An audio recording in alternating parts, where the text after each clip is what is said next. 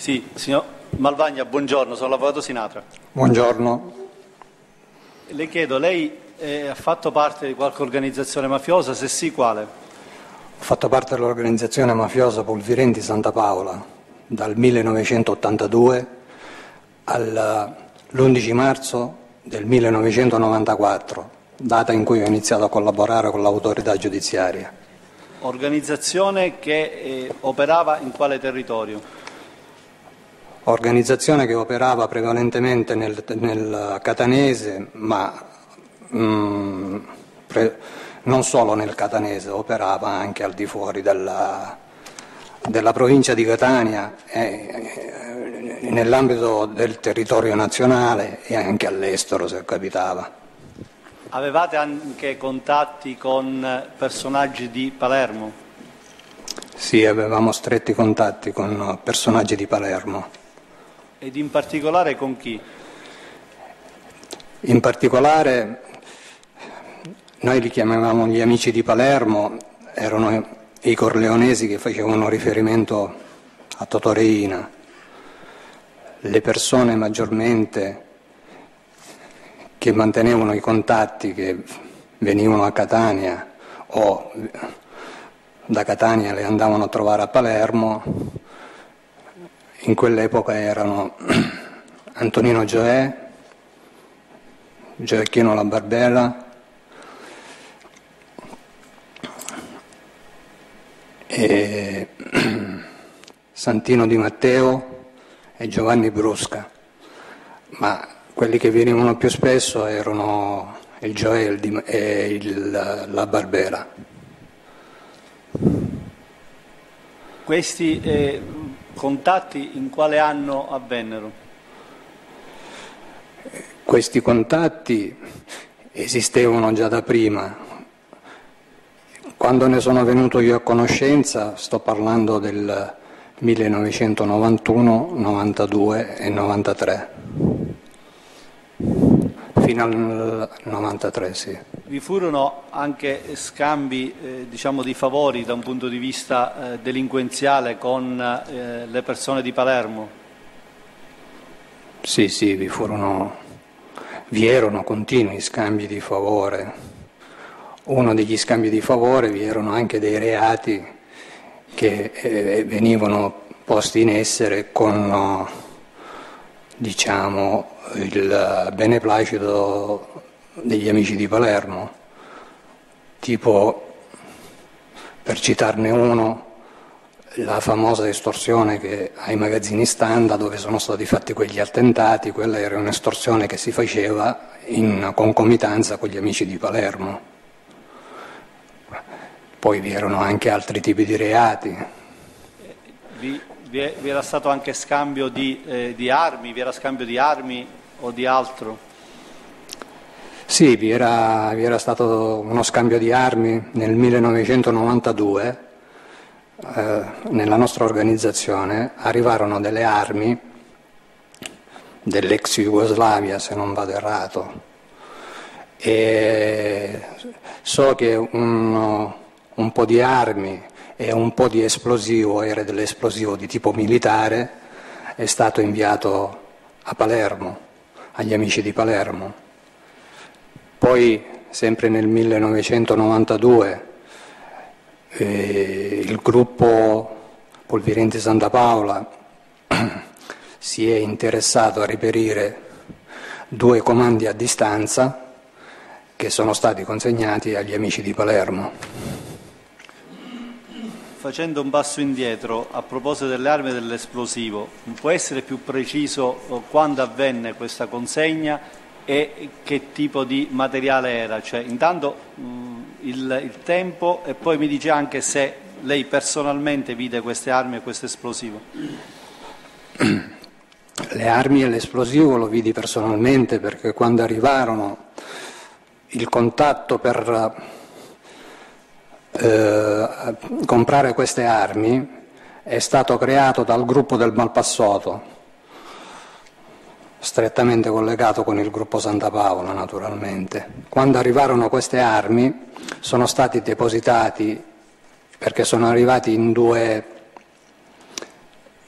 in, eh, in due volte, non sono arrivati tutti in una volta.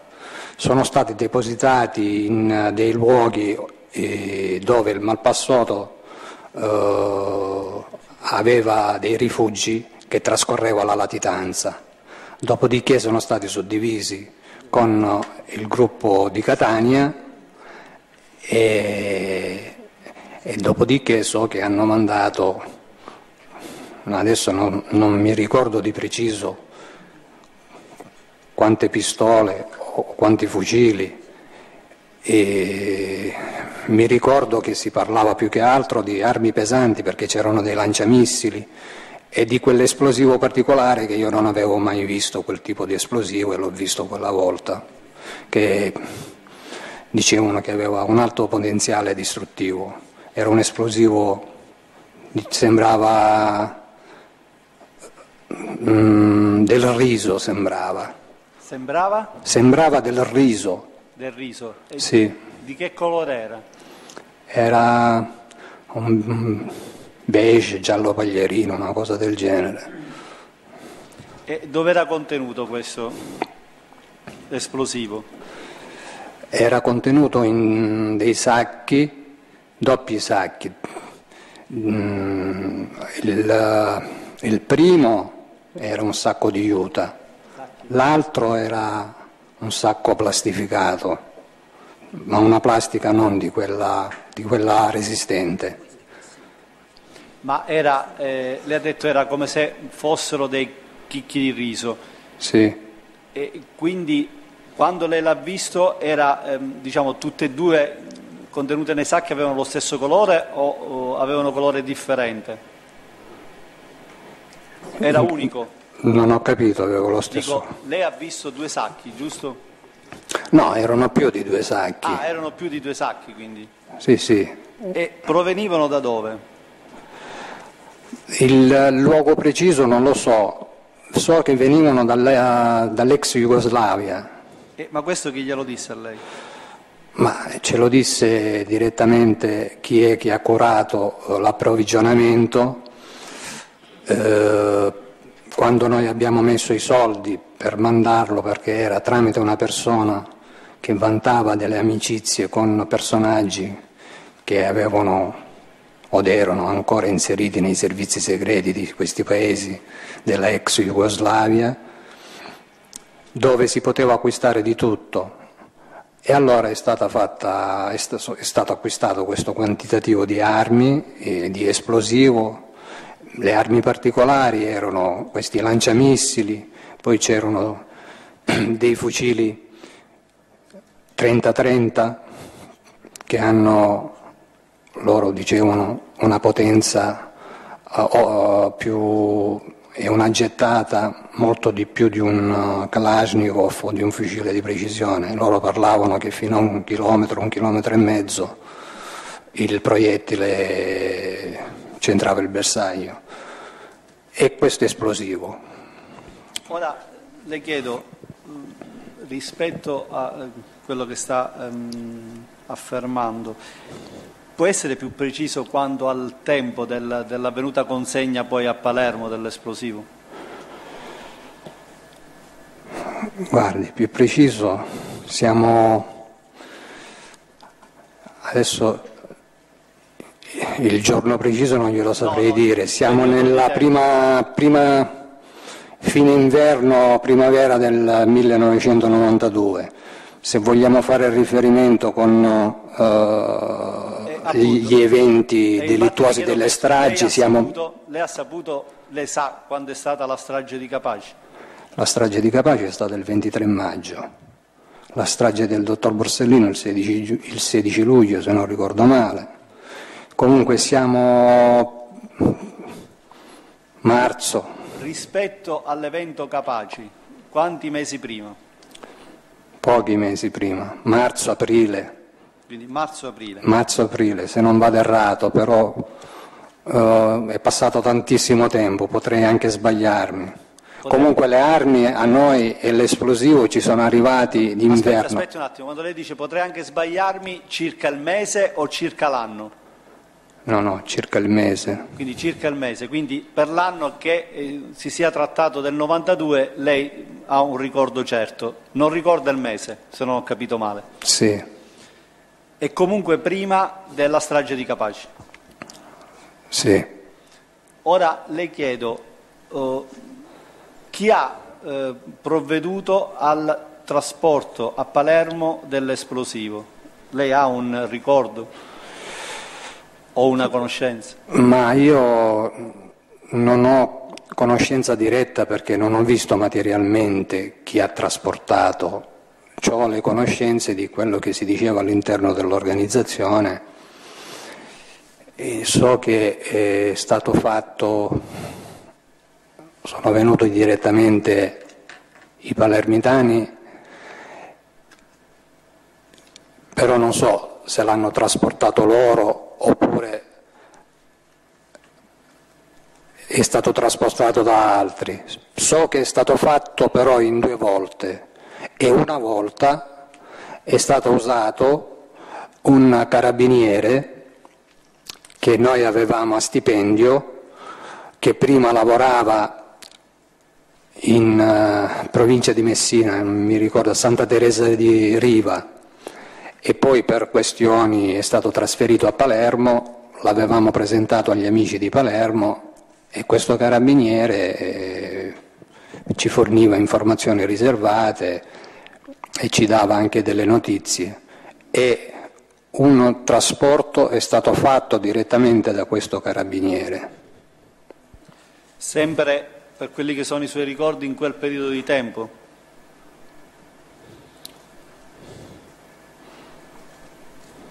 Sì, se non vado errato in quel periodo di tempo.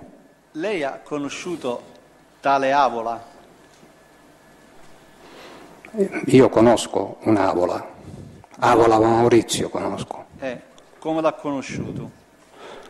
L'ho conosciuto perché facevamo parte della stessa organizzazione e l'ho conosciuto, la prima volta che l'ho conosciuto eravamo detenuti insieme al carcere di Piazza Lanza nel 1983.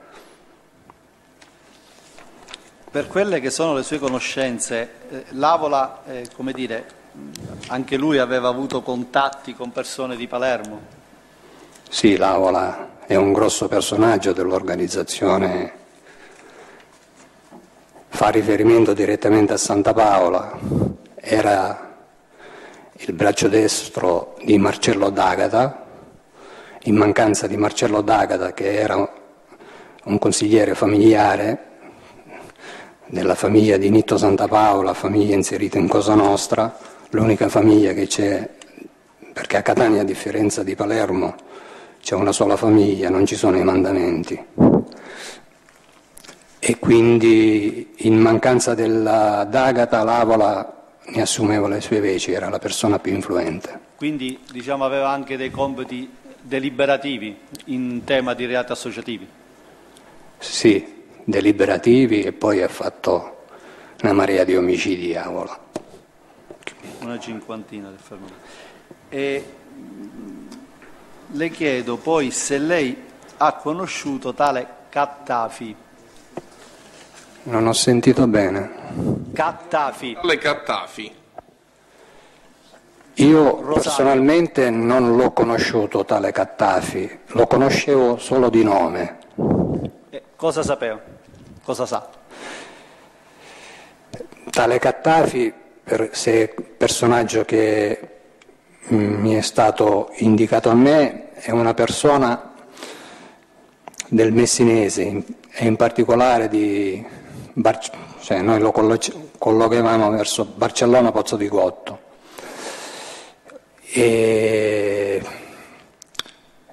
una persona che era tenuto in altissima considerazione all'interno della famiglia catanese e per quanto mi dicevano anche dai, anche dai palermitani, una persona che all'epoca mi dicevano essere incensurata e avere un ruolo di prestigio all'interno di Cosa Nostra, in quanto a Messina eh, i referenti primari erano il Santa Paola direttamente e per quanto riguarda gli amici di Palermo direttamente il cognato di Reina, Leo Luca Bagarella. In poche parole, lui insieme ad un altro, un certo Gullotti, il Gullotti rappresentava l'ala militare, ma lui era diciamo, la, la mente decisionale.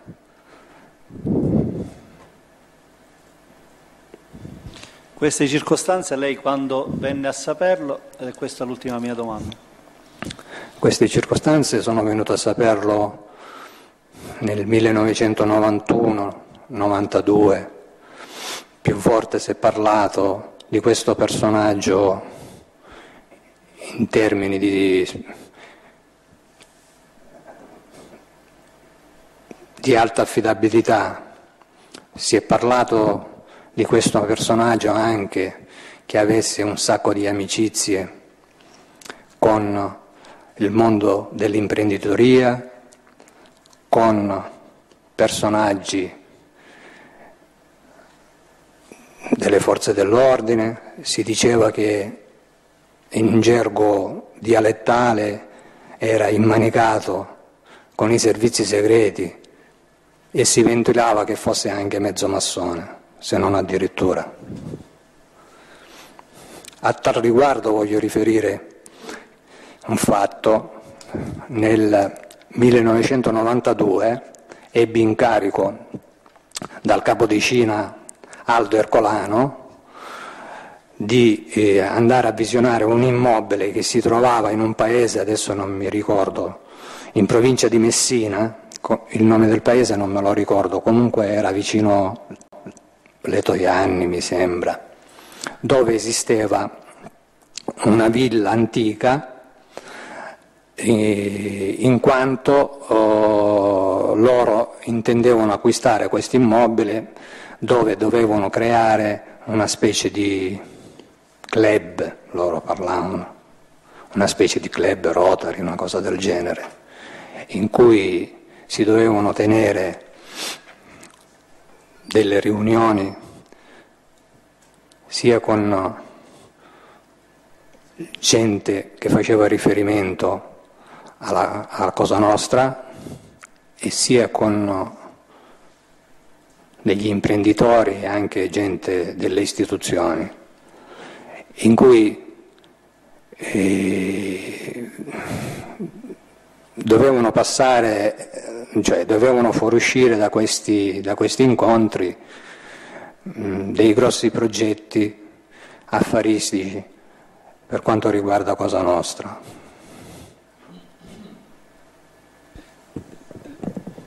Era la penultima domanda, me ne sovviene un'altra. Presidente, posso? Allora, signor Malvagni, io le chiedo, lei... Eh, è superfluo rispetto a quello che ho detto prima, cioè nel senso che abbiamo acquisito il verbale. Lei è stato già sentito nel processo Capaci 1, ricorda?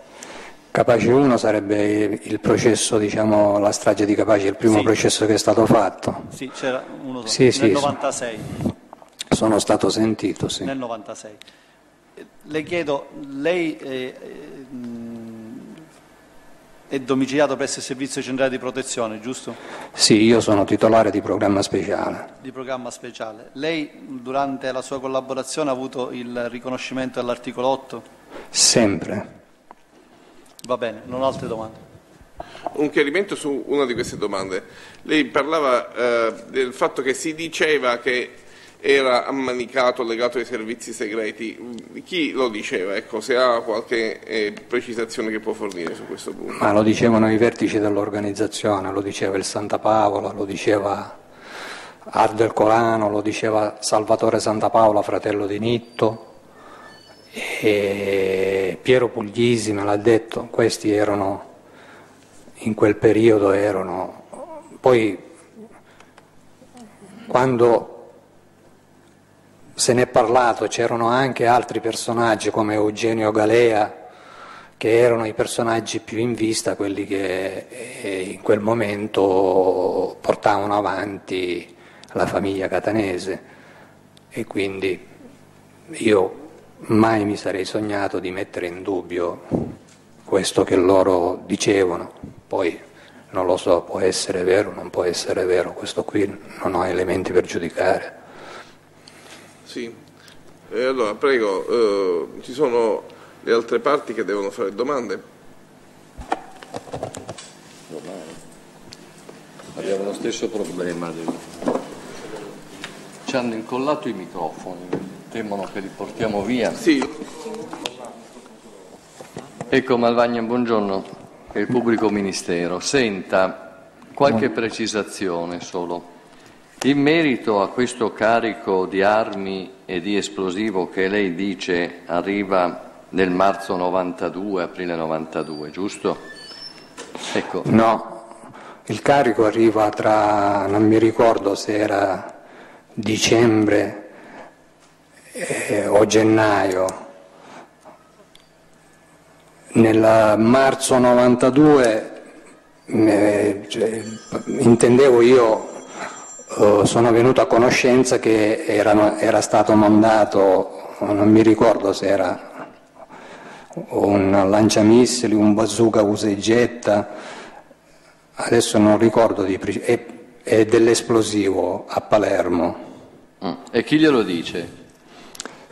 Me lo dice mio cugino Piero Puglisi, me lo dice Aldo Ercolano, ma poi quando, quando st- sono state divise le armi, perché come ho detto prima, queste armi sono arrivate in uh, un posto dove il Malpassato aveva una campagna che la usava per la sua latitanza. E poi eh, alcune di queste armi sono state occultate in un posto eh, a distanza di qualche chilometro dove poi nel 1992 è successo che una persona che faceva riferimento direttamente ad, ad Aldo Ercolano, eh, perché Aldo Ercolano, per quanto riguarda la custodia delle armi, eh, aveva incaricato come massimo responsabile un certo Filippo Brangiforti. Questo Filippo Brangiforti aveva un, uh, uh, l'utilizzo di una casa rurale a distanza di un chilometro, un chilometro e mezzo, gli aveva incaricato un muratore di sua fiducia di ricavare un intercapedine all'interno di questa casa rurale. Questo muratore venne arrestato e se non erro cominciò a collaborare con la giustizia e, ci, e indicò e vennero trovate alcune di queste armi che erano venute, che facevano parte di quel lotto. Mm. Difatti in quel periodo c'è stato un po' di arrabbiatura a Catania su questa cosa. Ecco, in che periodo siamo qua? Ah, siamo nella primavera del 1994, se non vado errato siamo aprile. Senta, dal suo ricordo, se lo sa, eh, sì. eh, quando venne sequestrato poi questo quantitativo di armi, sequestrarono anche dell'esplosivo o no? Mi sembra che l'esplosivo no, solo le armi. Mm. Le armi noi quando li vido, li, cioè, a parte che lo sapevamo che erano, non erano tutte, erano, c'erano anche altre armi che loro avevano da prima. Ah, ho capito, cioè era una, un deposito quello. Sì, insomma, quello lì eh. era un deposito, c'erano... Sì, senta, sì. ci dica una cosa, ehm, questo carico che arriva dalla ex Jugoslavia, sì. eh, diciamo tra il dicembre 91 e il gennaio 92, giusto? Sì. Mm. Lei sa da chi eh, fu organizzato questo affare, questo trasporto, se già c'entravano i palermitani o era, una, o era un affare solo dei Malpassotu e soprattutto chi era Malpassotu? Allora, il Malpassoto era, eh, faccio una premessa, voglio fare, il Malpassoto era imparentato con me in quanto io avendo sposato la figlia di un suo fratello era un mio zio acquisito e quindi in quel periodo io ero una delle persone diciamo più vicine al Malpassoto. E il Malpassoto è un uomo d'onore, è inserito nella Cosa Nostra catanese nella famiglia di Nitto Santa Paola e in quel periodo già da, da un po' ricopriva la carica di consigliere familiare. Per quanto riguarda quelle armi... No, scusi, ci può dire come si chiama però? Giuseppe Polfirenti. Sì. Per quanto riguarda quelle armi e quell'esplosivo, sì, ne erano a conoscenza anche gli amici di Palermo, però per quello che eh, ho saputo io abbiamo messo, non so se loro hanno partecipato alla, a, diciamo, a mettere il denaro per prendere quelle armi. Comunque l'acquisto di quelle armi è stato oh, coordinato e diretto dai fratelli Guidotto e e in particolare da Angelo, eh, Angelo Guidotto, in quanto in quel periodo avevamo una base logistica in Toscana. Scusi, scusi se la interrompo, ci sì. può ripetere il cognome I fratelli? Fratelli Guidotto. Io non capisco. Ha detto Guidotto, è giusto? Sì. Ah, Guidotto. Guidotto. Sì. Guidotto. sì. Per cui sono stati, in quanti sono i fratelli Guidotto?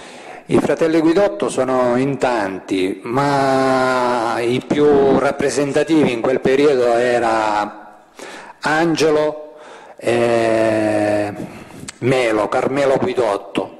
Addirittura Carmelo Guidotto era unitamente a Salvatore Grazioso capogruppo perché l'organizzazione del Malpassoto strettamente collegata con il Santa Paola era, siccome era diventata numerosa, era stata suddivisa in vari gruppi e ogni gruppo faceva riferimento ad un paese e diciamo per, uh, in quel paese eh, aveva, non dico il controllo quasi totale, ma... Eh, abbiamo capito, nel senso che allora questo affare viene gestito sì. Dai fratelli Guidotto, è giusto? Sono loro che lo propongono, naturalmente è stato approvato, sì. Ogni... abbiamo dato la quota noi come gruppo del Malpassoto, la quota i catanesi e non so che quota hanno dato gli amici di Palermo. E se l'hanno data? Sì. E se l'hanno data? E se l'hanno data. E se l'hanno data. Senta... Eh... C'è un particolare importante, Dica. signor Pubblico Ministero. Dica.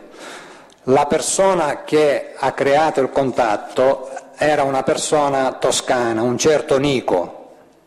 Dopo tutto questo, diciamo, che è stato fatto questa operazione e eh, se mal non ricordo già era successa la prima strage, per motivi che mi sembra che siamo nel giugno del 1992, per motivi che noi eh, avevamo paura, qualora, siccome questo qua era venuto in Sicilia, era venuto poi, e stazionava sempre lì a San Giovanni Galermo dove mm, il gruppo del Guidotto e del Grazioso avevano la base operativa. Diciamo era come una persona che avevano lì inserita con loro Siccome eh, eh, avevamo paura che potesse essere controllato dalle forze dell'ordine e parlare, perché già un paio di volte l'avevano attenzionato le forze dell'ordine, anzi c'era arrivata anche una mezza voce che questo qui era anche mezzo confidente e l'abbiamo eliminato.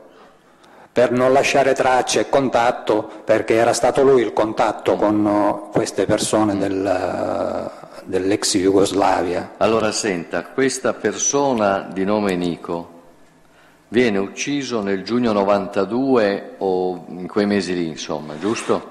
Adesso posso, in quei mesi lì, ecco. può essere luglio. Va bene. Essere... Eh. Lei sa da chi viene ucciso? Sì, viene ucciso da, è partecipato Carmelo Guidotto direttamente, c'era eh, Giuseppe Barbagallo, se non vado errato, e altre due persone. E dove?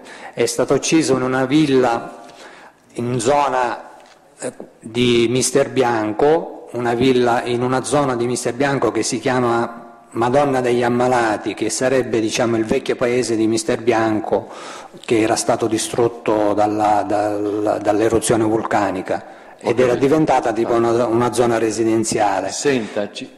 Una villa, volevo dire, dove sì. noi l'avevamo usata più volte per fare degli omicidi. Ho capito. Senta, questo, eh, lei di Nico non sa altro?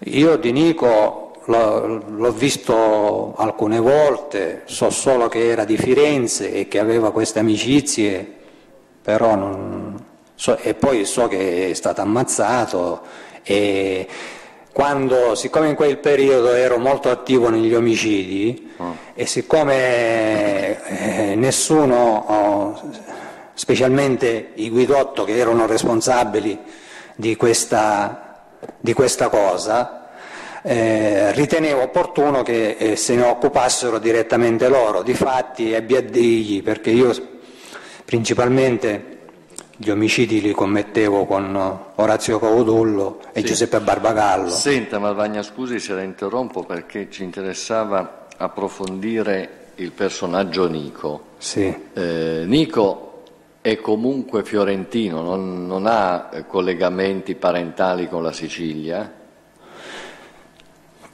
Questo non glielo so dire, lo conosco poco, okay. nemmeno se è fiorentino. La, la, parlata gli dava un po' la cadenza del toscano, però la mm. parlata può anche darsi che certo. era stato lì per parecchio tempo okay. e aveva preso questa cadenza. Senta, lei da quando sente parlare di Nico, ovvero quando lo conosce, rispetto a questo affare delle armi e dell'esplosivo?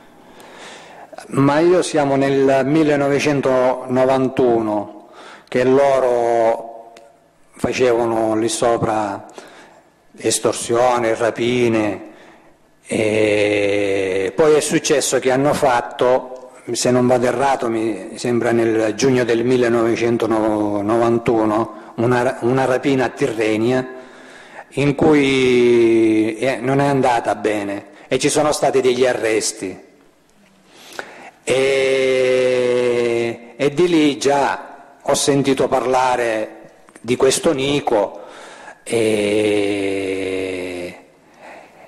e mi ricordo che era stato arrestato uh, Franco Stimoli che apparteneva allo stesso gruppo che poi ho diretto io e altri, adesso i nomi non me li ricordo. Senta, vediamo Un certo Bonaccorsi, eh. Stefano, no. Stefano Bonaccorsi. Stefano Bonaccorsi mi sembra una cosa del genere. Mm. Senta, vediamo che... se ho capito, scusi. Eh.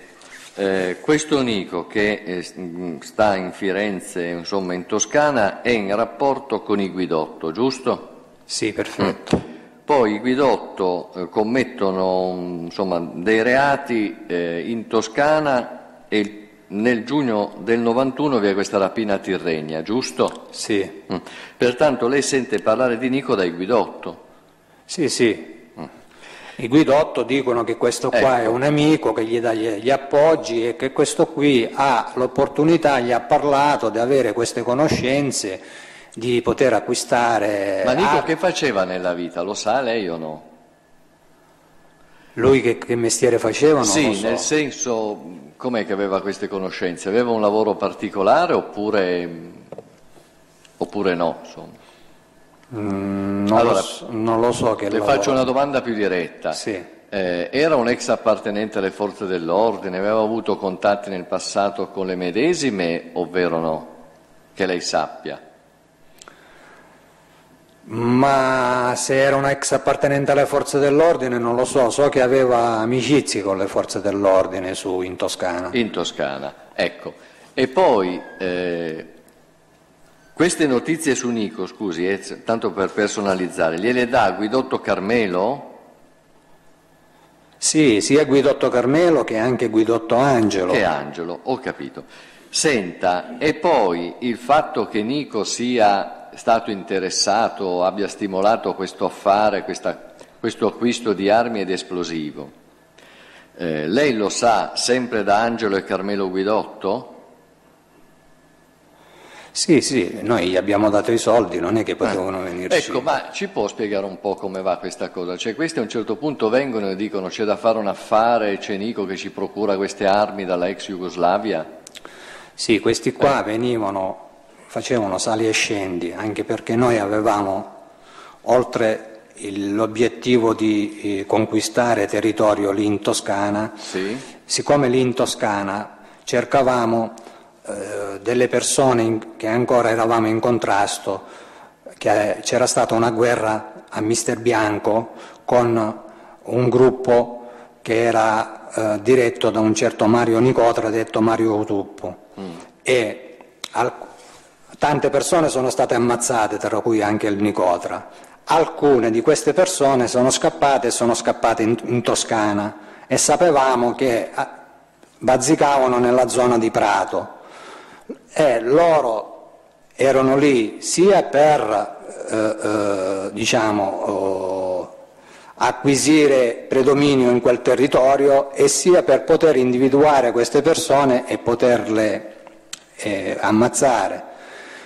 E venivano e si rapportavano sempre con noi, lì le cose stanno andando così, stiamo facendo delle estorsioni, stiamo facendo delle rapine, siamo riusciti a sapere delle notizie su questi qua. E poi nel frattempo si erano creati anche degli appoggi eh, con delle persone, diciamo, non lo so, incensurate o se erano pregiudicate, non lo so, perché per quanto riguarda quella rapina so che sono state anche attenzionate delle persone che gli avevano dato degli appoggi logistici tra cui c'era anche questo Nico, che per me era solo un nome, non lo conoscevo completamente, io l'ho conosciuto dopo che eh, loro hanno portato questa proposta, noi questa proposta l'abbiamo discussa con uh, i vertici del gruppo Santa Paola e il gruppo Santa Paola ha detto va bene, eh, prendiamo facciamo una prova, vediamo, perché delle volte queste cose eh, eh, partono, però oh, come si dice, o il carico non arriva o viene intercettato, facciamo una prova, vediamo queste armi come sono e ecco. così abbiamo, sono, di fatti sono arrivati in due tronconi le armi, non sono arrivati in una volta. Eh. Senta, in relazione a questo affare, ehm, vediamo se lei ne sa un po' di più sollecitando il ricordo. Vi è questa diciamo, proposta verso dicembre 91, no? eh, questo, questo, carico di armi ed esplosivo, lei ha detto arrivava dalla ex Jugoslavia, giusto? Sì. Ecco. In merito a questa situazione ne sa un po' di più o no? Cioè come arrivava dall'ex Jugoslavia, da dove provenivano queste armi e questo esplosivo? Allora io so che queste, i, le armi dalla ex Jugoslavia a farli entrare in Italia era il contatto che aveva questo Nico, che io non, ho, non so chi fossero, sapevo soltanto che erano dei ex combattenti, lì dicevano eh, in, dei, gente che era stata con, con, i servizi segreti e dovevano, cioè, avevano un sacco di armi, addirittura parlavano se avete bisogno di un elicottero, se avete bisogno di un carro armato, parlavano di cose, sì. di cose anche di questo genere. E che io sappia l'incontro, per come è stato raccontato diciamo, dai sia dal guidotto e poi è andata a supervisionarla anche questa cosa Salvatore Grazioso, eh, direttamente lì a Firenze e il, l'accordo è stato stipulato in Toscana, adesso non lo so se erano a Firenze o a Prato dove le armi sono arrivate lì, poi da lì il gruppo si è interessato a farli portare giù in Sicilia. E per il trasporto di queste armi, se non vado errato, è stato usato il, eh, il fratello di Andrea Ventura, che aveva, faceva il camionista, aveva, faceva l'autotrasportatore.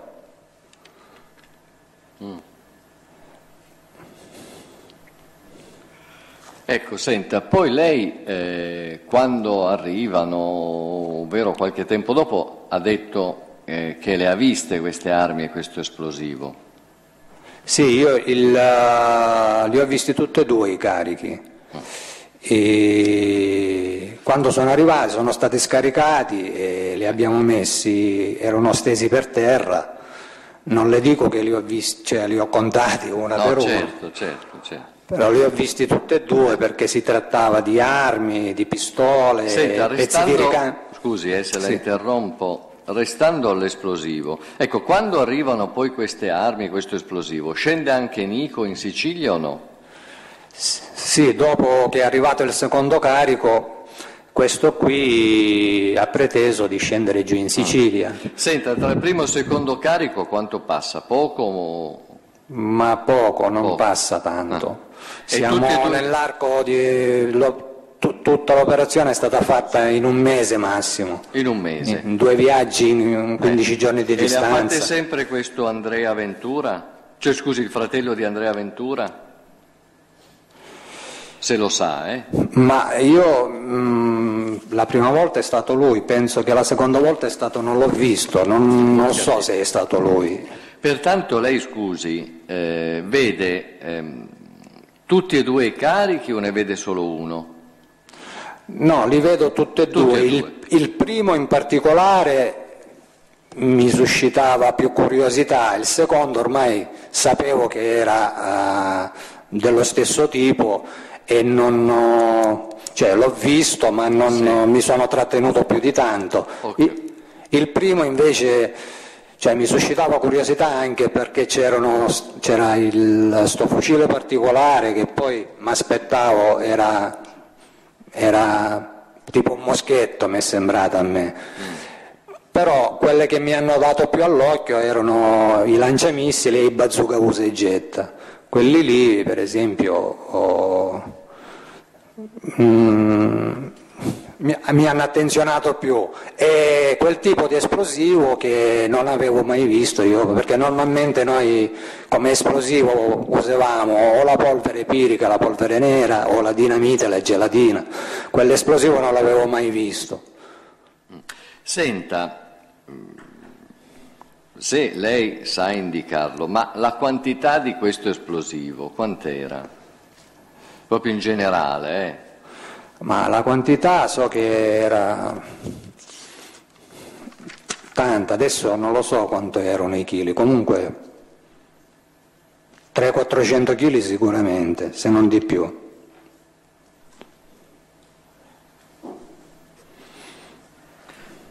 Ecco, senta, lei ha detto no, che eh, questo esplosivo era contenuto sia in eh, sacchi di juta, che i sacchi plastificati, giusto? Sì. Ecco.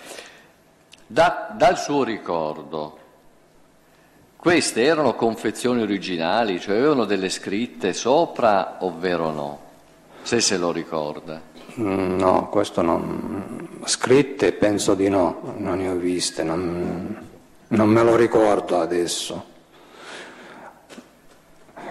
li ho viste in quel modo perché dal sacco di juta non si, vede, non si, riusciva a vedere il contenuto, perché prima veniva tagliato il sacco di juta, era tipo, sembrava del grano, come le posso spiegare? Era granuloso. Difatti io ho guardato mio zio, gli ho detto, ma sarà così potente questo, questo cosa? Mi ha detto sì, questo è un esplosivo particolare e poi con questo esplosivo abbiamo fatto una prova perché il confezionamento delle bombe che noi usavamo per le estorsioni era diciamo, il maestro era Giuseppe Pulverenti, il malpassato, era lui che li faceva, io più volte gliel'ho visti fare. Normalmente ultima, negli ultimi tempi non usavamo perché dapprima si usava mettere direttamente i candelotti di dinamite eh, sfusi, diciamo, legati col nastro adesivo. Poi lui aveva escogitato un metodo di eh, mettere meno esplosivo e renderlo più potente incastrando questo esplosivo all'interno di un uh, contenitore di latta dove lui colava dentro del cemento con uh, pezzi di metallo, queste cose così. E poi uh, metteva un tubo innocenti al centro, poi venivano messi due, tre, 2, 3, 4 candelotti di dinamite o gelatina secondo la potenza del, dell'ordigno che si doveva fare. Per quanto riguarda questo esplosivo, ricordo che un piccolo, cioè io non sapevo nemmeno come si maneggiava perché si doveva, non è che si poteva utilizzare in quel modo, doveva essere trattato, impastato, loro, mi diceva mio zio. Aveva preparato un, una bomba piccola che io ho incaricato a Raffa Giuseppe di metterla in un contenitore di acqua per eh, l'irrigazione dei, degli oranceti.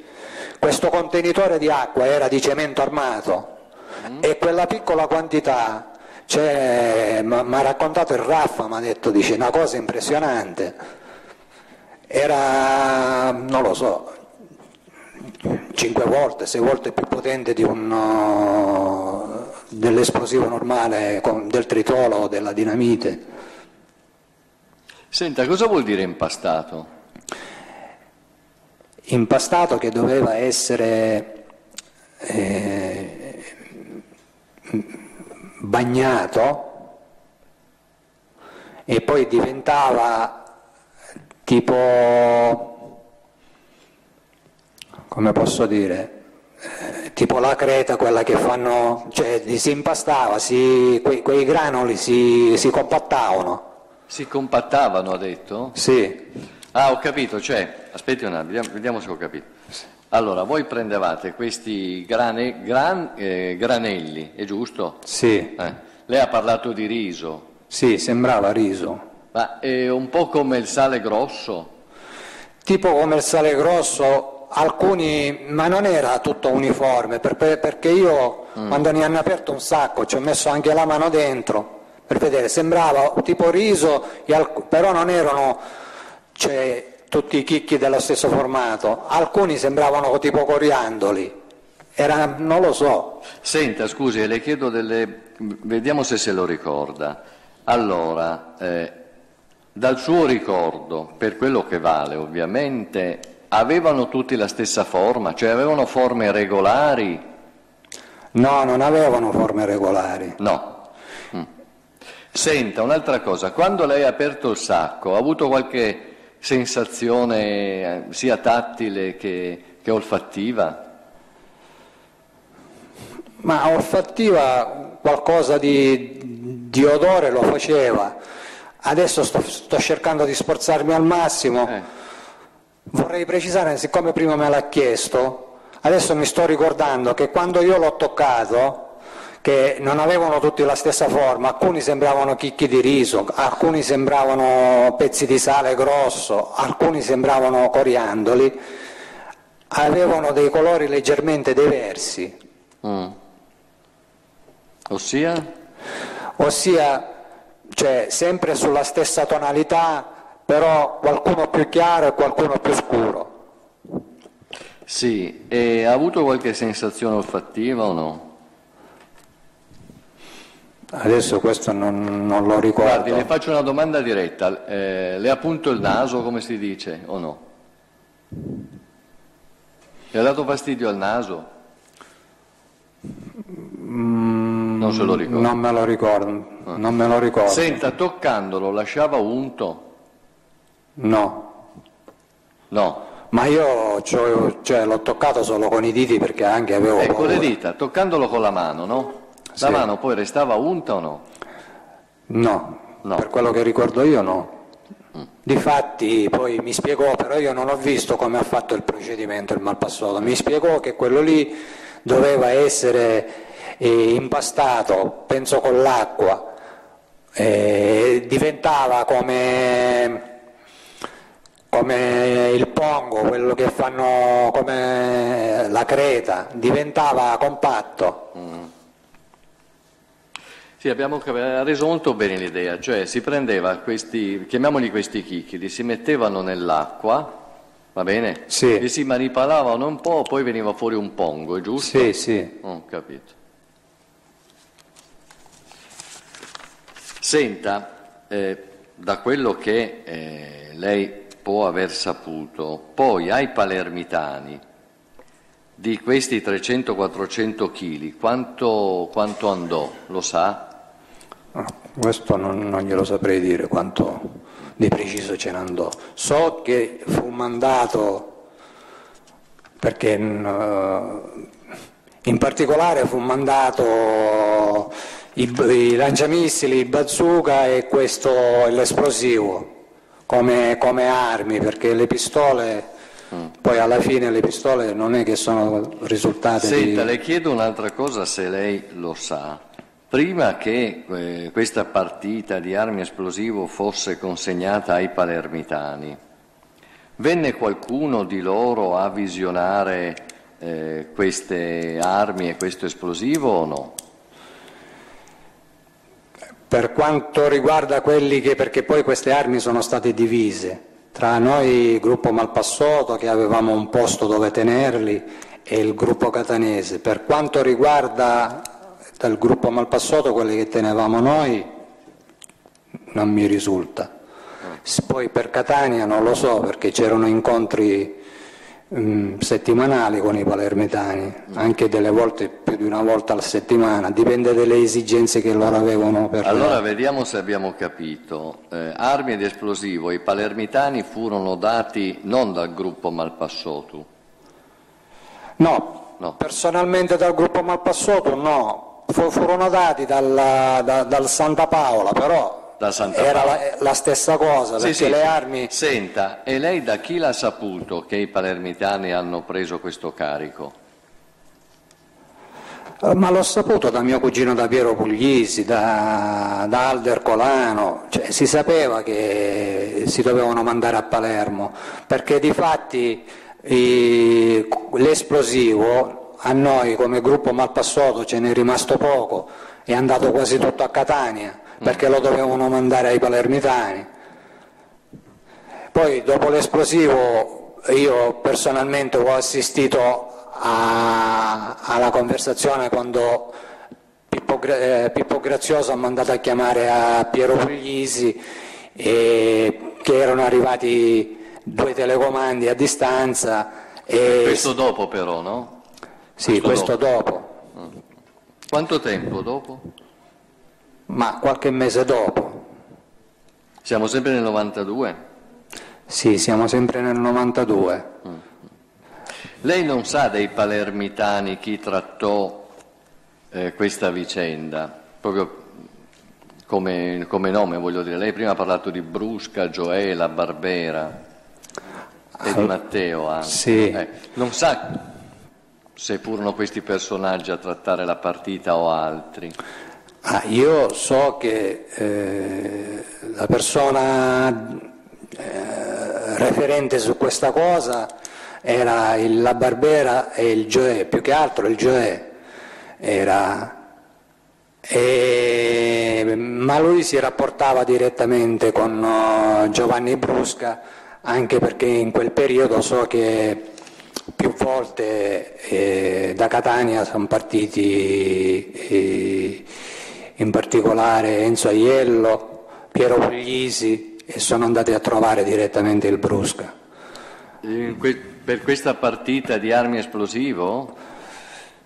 Ma sia nel periodo di questa partita di armi eh, ed esplosivo eh, sia per queste cose sia anche per parlare di, penso, penso di altro. Cioè lei dice questi personaggi erano quelli deputati a tenere rapporti con i palermitani, insomma, segnatamente con Brusca, è così? Sì, se, non, se mal non ricordo, Brusca era latitante in quel periodo, sì, sì. se non era una cosa strettamente importante non si va a trovare un latitante. Certo. Normalmente allora venivano i rapporti venivano o venivano loro e venivano eh, Nino Gioè veniva e Gioecchino la Barbera. E delle volte accompagnato con Santino Di Matteo. Per esempio quando c'è stato il fatto che nel 1993, subito dopo l'arresto di Salvatore Reina, c'è stato un incontro che loro hanno chiesto direttamente con mio zio Giuseppe Polvirenti, dove io sono arrivato alla fine dell'incontro e il Polvirenti mi ha detto che c'era stato Gioè, c'era stato la Barbera, stato, c'erano, sta, stati anche eh, membri della famiglia di Nitto Santa Paola dove si chiedevano un appoggio per uh, l'uccisione del giornalista Maurizio Costanzo. E di fatti poi con mio zio avevamo un po' parlato di questa cosa e mi aveva messo in conto sulla, su una mia partecipazione all'attentato a Costanzo, cosa che poi non è avvenuta da parte mia. Ho capito. Senta, un'ultima cosa, eh, forse l'ha già detto e mi è sfuggito. Eh, lei sa mh, dove e, e, se sa chi portò poi questa partita di armi d'esplosivo ai palermitani? Allora, io so che un, uh, un viaggio sicuro è stato fatto da Cosimo Bonaccorso, quel carabiniere che ho detto prima che era a stipendio sia con noi catanesi che lo conoscevamo da prima e poi anche con i palermitani. Mm. Però se, se sta, sono stati portati tutti in una volta o o, in diverse volte, questo non glielo saprei dire. Mm. E non sa dove Cosimo Bonaccorso portò questa partita? Questo non glielo so dire. Mm. Io so che Cosimo Bonaccorso più che altro si rapportava con uh, un, uh, un, loro referente, un certo Enzo Meli, eh, che era cugino dei Pullarà ed era in stretto contatto anche con noi eh, che se gliel'ha portati a lui oppure gliel'ha portati a un altro che era sempre vicino al Meli ed era uno stretto uomo di Giovanni Brusca, un certo Angelo Romano, non glielo saprei dire. Vabbè. Va bene, grazie. Grazie a lei.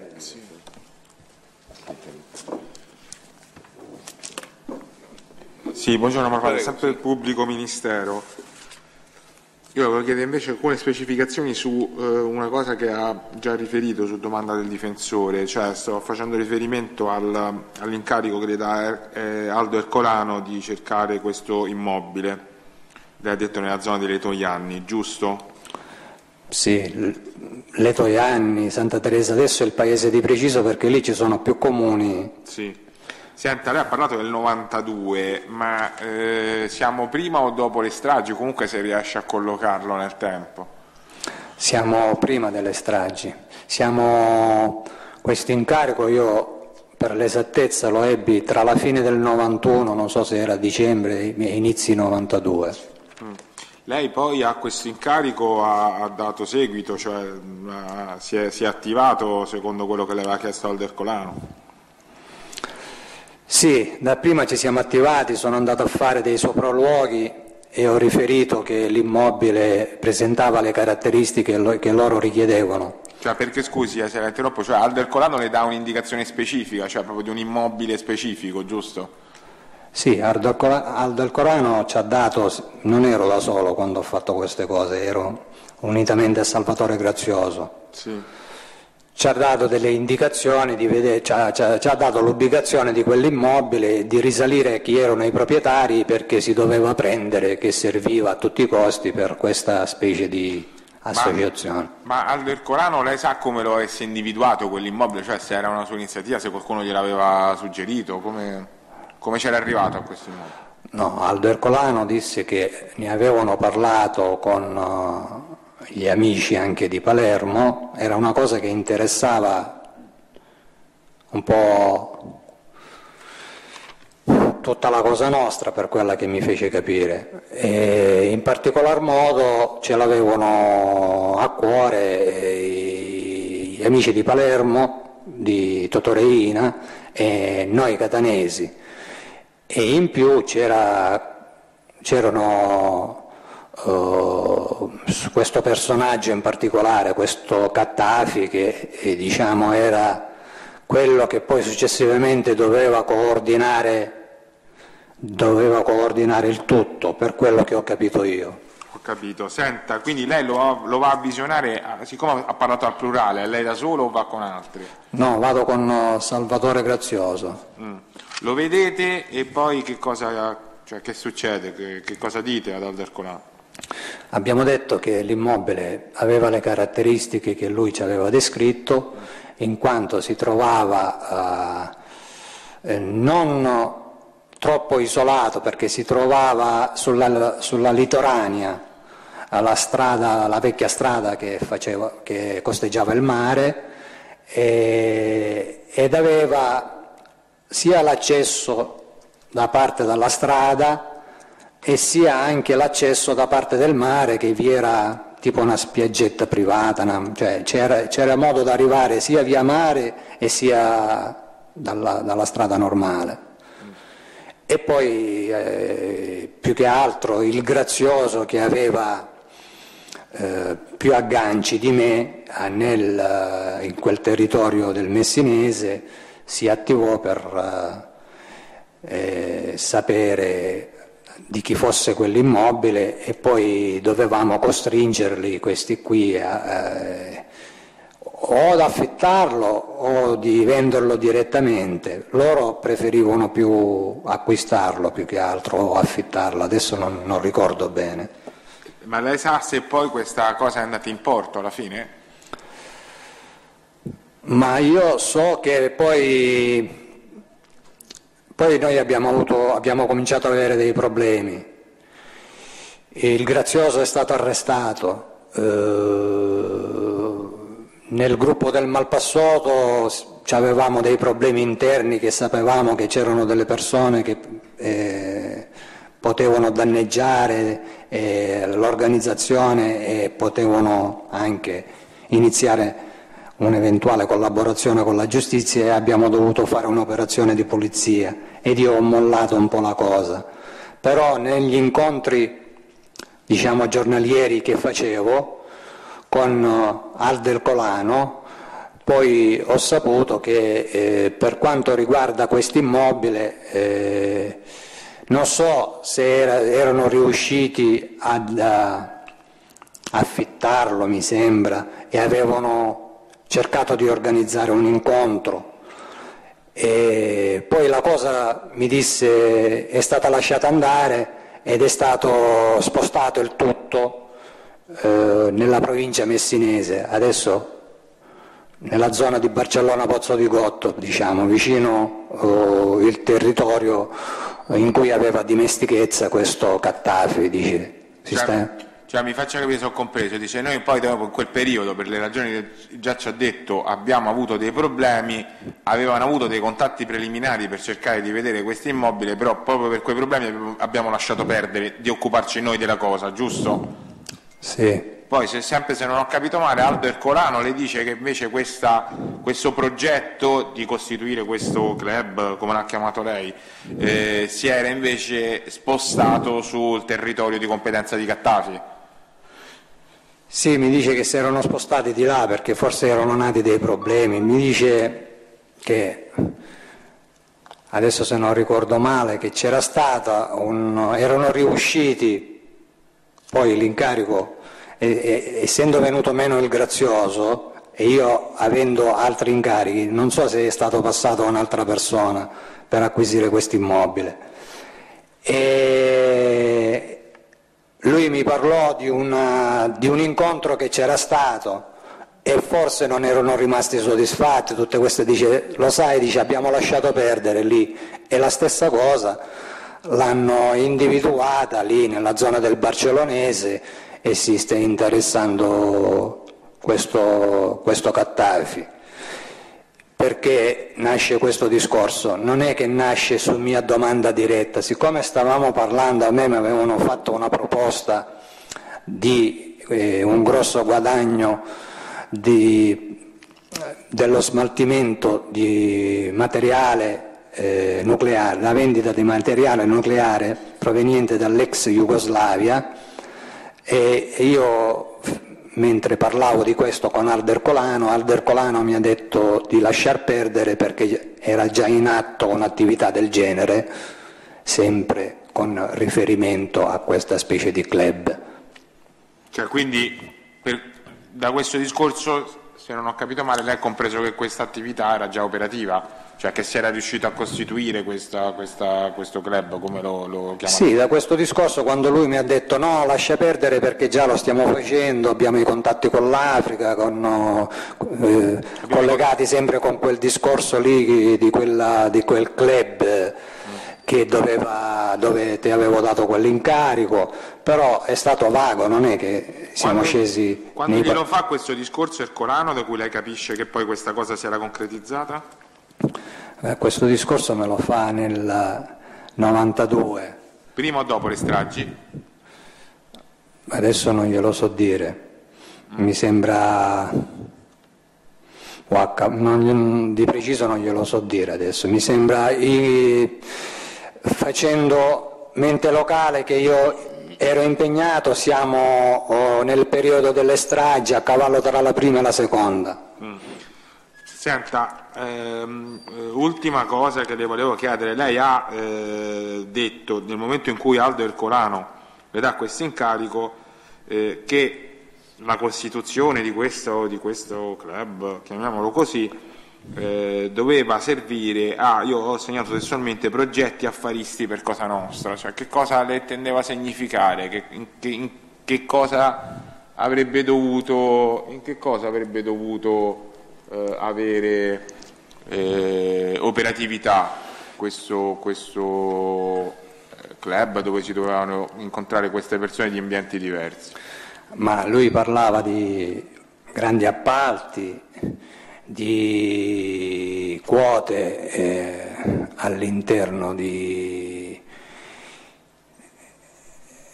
di, lavori che dovevano, che dovevano essere effettuati in Sicilia, parlava anche di eh, contatti con il mondo istituzionale, mi diceva che eh, da lì dovevano passare eh, grosse, i grossi affari della, della Sicilia. Eh. Ma le fa qualche riferimento anche alla politica, cioè questa questo eh, luogo di incontro doveva servire anche a progetti politici per quello che ha compreso o era limitato a affari, appalti e quant'altro? Ma a me personalmente a progetti politici no, però me l'ha fatto intendere che c'era di mezzo qualcosa anche di politico. Però se devo dire... In che senso l'ha fatto intendere? Eh? In che senso l'ha fatto intendere? Perché quando mi parlava che dovevano partecipare eh, membri delle istituzioni, membri del mondo de, dell'imprenditoria, parlava anche di membri appartenenti alla politica, tra cui all'epoca si parlava di un, non so se era ministro in quel periodo, loro eh, puntavano molto su un certo Capria, che poi... Un certo? Capria. Capria? Sì. sì. Ma di, di, che origine era questo Capria, lo sa? Questo Capria mi sembra che era un politico del Messinese ed era in stretto contatto con uh, questo Cattafi. L'unica cosa che posso dire per quanto riguarda a, a riferimento a, a, a livello politico è stato questo. Mm. Le vengono fatti anche altri nomi di persone che avrebbero avuto, dovuto avere questi, questi, contatti, queste relazioni, perché lei eh, ha parlato testualmente prima di eh, luogo in cui eh, si sarebbero dovuti incontrare appartenenti a Cosa Nostra, imprenditori e gente delle istituzioni. Gente delle istituzioni di che contesto e se le viene fatto qualche nome? No, no, rimane sul vago, sul generico. E il, il, contesto, perché sa, istituzioni è un termine un po' eh, generico, se le ha fatto capire o se le ha detto espressamente di che contesto istituzionale stessimo parlando? Nel contesto istituzionale si parlava di magistratura, di forze dell'ordine, di politici locali. In poche parole si era deciso che non erano più, oh, eh, non si doveva usare eh, il vecchio metodo di andare a minacciare eh, gli imprenditori, questo, cioè, eh, dice lì ci si siede in un tavolo e ognuno avrà il suo pezzo di, di torta, per dirla volgarmente. E un'ultima cosa le volevo chiedere, e anche qua se non ho compreso male mi correggerà, lei ha detto questo era un progetto che interessava principalmente agli, agli amici palermitani, giusto? Ho capito bene? Cioè l'input, l'input per creare questo luogo di, di incontro, di, di, di scambio di, favori e quant'altro eh, era un input che proveniva dagli amici palermitani? Sì, l'input proveniva sia dagli amici palermitani, cioè interessava questo qua, se si, si facevano cose del genere, a tutta quanto, cosa nostra, a tutta cosa nostra, però uh, l'input era dagli amici di Palermo e, da, e da, da, da, Santa Paola, anche perché su Messina c'era, come si suol dire, un, tipo un doppio controllo e addirittura per quanto riguarda le storie del messinese non è che veniva una persona qualunque, li trattava quasi sempre in prima persona Leoluca Bagarella, il cognato di Reina, che è una cosa, diciamo, un po' anomala. Un po' anomala, eh? vuol dire che l'interesse deve essere molto alto per rischiare un prezzo del genere. Ho capito. Come altrettanto Santa Paola mandava uh, i, i, gli elementi i più responsabili dell'organizzazione o addirittura so che lui stesso più volte è stato in, quel, in, quelle, in, quelle, in quei posti. In quei posti come latitante intende, giusto? Sì, come latitante e anche come contatti diretti. Adesso non so se ne approfittava nel periodo di latitanza, perché so che per, per un periodo è stato lì qualche qualche mese nel 1992 e poi si è dovuto spostare. Senta, eh, l'ha già detto, però lo specifichiamo, quando lei fa riferimento agli amici palermitani fa riferimento alle persone di chi? Io quando io faccio riferimento agli amici di Palermo faccio riferimento ai corleonesi di, di Reina e Provenzano. Mm. E, ultima cosa, ho davvero concluso, le fanno il nome o comunque lei ha compreso che in questo progetto rientrassero anche politici palermitani? No, guardi, loro non rifiutavano niente, potevano, loro hanno parlato, è stato un discorso generico, se mi hanno fatto un nome, no, ad eccezione del di quel Capria, de, del Capria che poi non so se era sottosegretario al governo, quel, cioè dicevano che era un pezzo grosso della politica. Uh-huh. Ho capito. Ma ci dovevano essere anche eh, appartenenti ai servizi segreti in questo, in questo, contesto di incontri e relazioni, per sempre per quello che ha compreso. Siccome lei prima ha detto per quello che mi è, mi è stato riferito sul conto di Cattafi erano persone che vantava amicizia, eh, amicizia in vari ambienti ha fatto riferimento anche ai servizi segreti. Allora io le chiedo se in questo contesto, per quello che ha saputo, dovevano entrarci in qualche maniera anche appartenenti ai servizi segreti. Sì, questo mi è stato fatto intendere. Mm.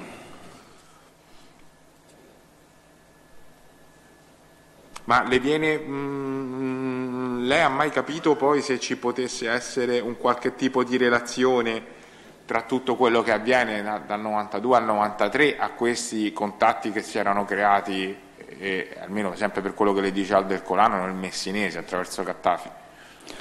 No, perché poi io nel novembre del 90, a parte come ho detto prima, ero impegnato in prima persona a risolvere, a risolvere i problemi all'interno del gruppo perché io in quel periodo dirigevo due gruppi, il gruppo di Mister Bianco e il gruppo di San Pietro Clarenza, erano i gruppi più numerosi del, dell'ala del Malpassoto, diciamo, di Giuseppe Pulvirenti, sempre strettamente collegata con Catania.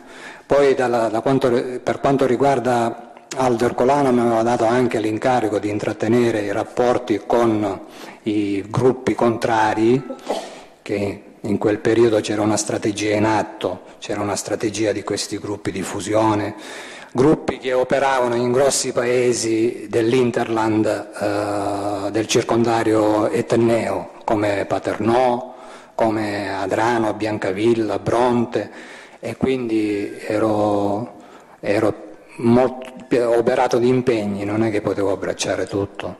Poi nel novembre del 92 è, partita l'operazione Aria Pulita 1 e quindi sono dovuto, uh, sono dovuto andare latitante pure io. E durante la latitanza è più difficile eh, potersi, cioè non avevo la libertà di movimento, è, è più difficile dover poter uh, intervenire su queste cose, anche perché nel gruppo del Malpassoto quasi tutti gli uomini d'onore erano stati, erano stati arrestati. E non potevo dare l'incarico mm, così importante a, a una persona che, non, che, senza essere autorizzato da, minimo dal capo di Cina o direttamente da, da, rappresentante familiare che era Salvatore Santa Paola o direttamente dal Santa Paola stesso. Ho capito, va bene, grazie signor Malvagna, non ho altre domande, grazie Presidente.